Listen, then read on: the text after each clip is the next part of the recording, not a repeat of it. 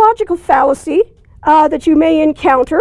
It's what's called ad hominem. Uh, that's Latin. It literally translates as to the man. Uh, we usually translate it as to the person. Um, and this is where you're attacking somebody not based on the merits of his or her argument, uh, but rather because of who the person is, uh, which may not have anything to do with the validity of the person's claims. Uh, you do see this a lot in politics, uh, where, for example, uh, one argument in, from the distant past now uh, was Bill Clinton favors universal health care, but he cheats on his wife. Now, cheating on his wife may have something to do with other qualifications of his to be president, but it has nothing to do with the merits of his arguments for or against health care. Uh, so that's one uh, where that's an ad hominem attack. Uh, and in fact, in politics, you see where politicians start to call each other names. Uh, that's another clue. You're dealing with an ad hominem attack where you're getting into name calling instead of looking at the merits of what the other person has to say. Now, related to ad hominem is something called guilt by association.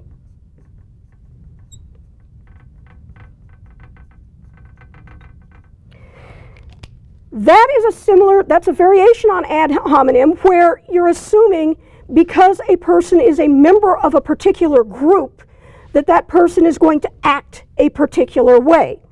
Um, for example, somebody's in the military and so forth, therefore, he can't possibly understand uh, what civilians need or civilian spouses, that kind of thing. And guilt by association also has a very ugly side to it, uh, which is the stereotypes and the discrimination. Uh, for example, uh, deciding that because somebody has dark skin and lives in a lower income neighborhood, that person must be a criminal or assuming because somebody is a Muslim uh, that that person uh, must be a terrorist. Uh, that's guilt by association. And as I said, that's a particularly ugly form of it, uh, the uh, stereotypes and uh, discrimination. Um, okay, another is this one has a nice long fancy Latin name that I like. It's called post hoc. Ergo, propter hoc. And this is also known as false cause.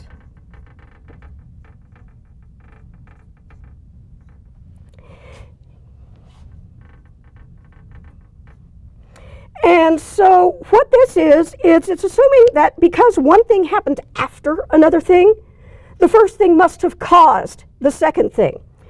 Um, and you'll see this in politics a whole lot. Uh, one of the arguments about the death penalty is when South Dakota reinstated the death penalty, um, the crime rate in South Dakota went down. Um, that is not necessarily saying that the death penalty reinstatement caused the crime rate to go down. There could have been something else that happened at the same time. Uh, for example, maybe the economy improved, so fewer people were committing crimes. Or maybe law enforcement got a whole lot better. And so they were catching people before they got into uh, all the really serious crimes. So we don't know for sure. Uh, advertising uses this one a huge lot too. Uh, for example, um, there used to be a commercial for close up toothpaste. And the two guys are talking to each other.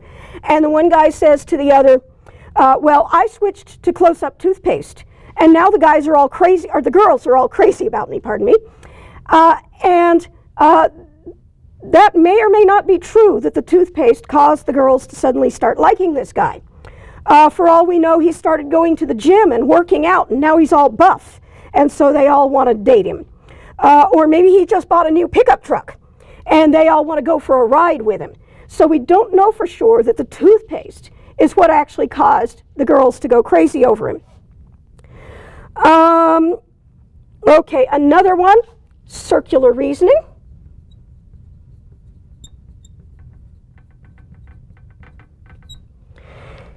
Circular reasoning, as its name implies, is going around in circles. Uh, what we're looking at is that uh, it's saying A is true because of B, and B is true because of A. And what happens is each of those two things relies on the other for confirmation um, without any outside support for either.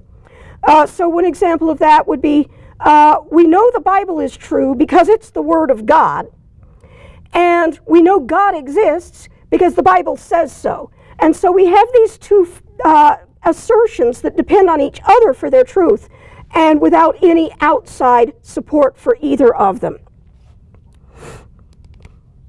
Okay, arguing from strength.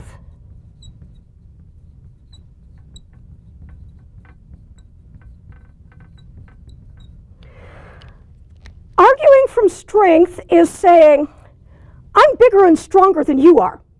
Therefore, I am right. Um, if you don't do what I say, I'm going to beat you up. Um, so arguing from strength uh, is, again, ignoring the actual question, ignoring the actual merits of the argument. Um, it's kind of the playground bully, give me your lunch or I'll beat you up. Um, I am right, and if you don't believe I'm right, I'm going to beat you up. Uh, here in Albuquerque, especially now that we no longer have traffic cameras, uh, an example would be uh, the driver of the great big huge gigantic SUV barreling into the intersection and the argument is I don't care what color the light is. Uh, I am bigger than you are, and I am going through, so get out of my way. So that's the argument from strength um, that uh, I am right because I'm bigger and stronger than you are. Um, another one uh, appeal to pity.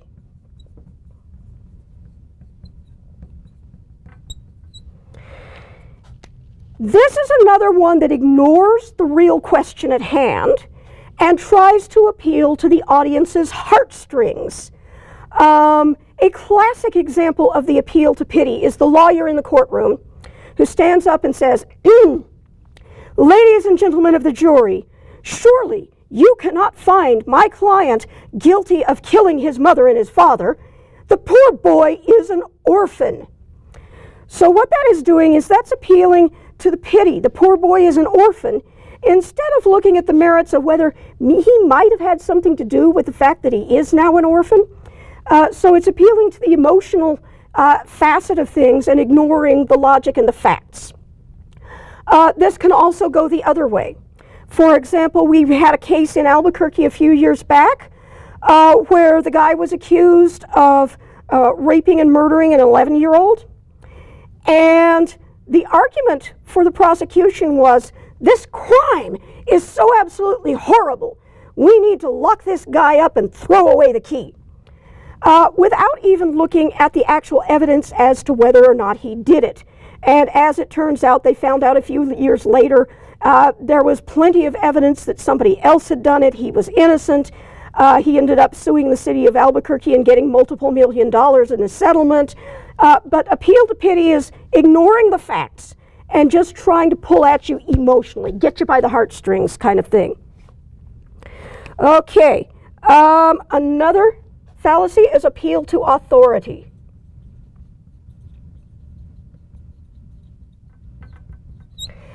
And in particular, this would be appeal to somebody as an authority who's not really an authority.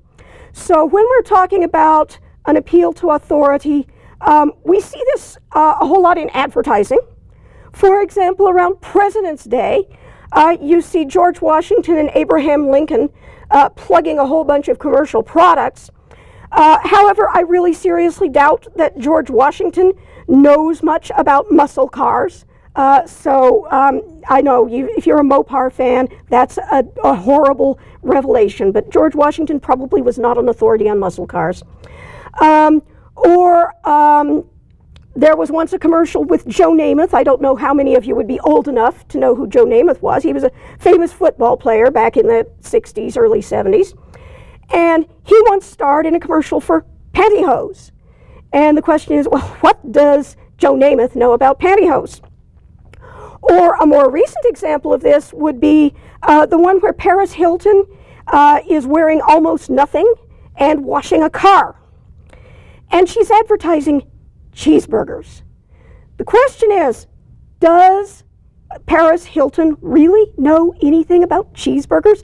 I mean, look at her figure. She's probably not an authority on cheeseburgers. She probably seldom, if ever, eats a cheeseburger. Uh, she's just in the commercial because she's good looking and famous, uh, not because she really knows anything about cheeseburgers. And then finally, we have arguing from ignorance.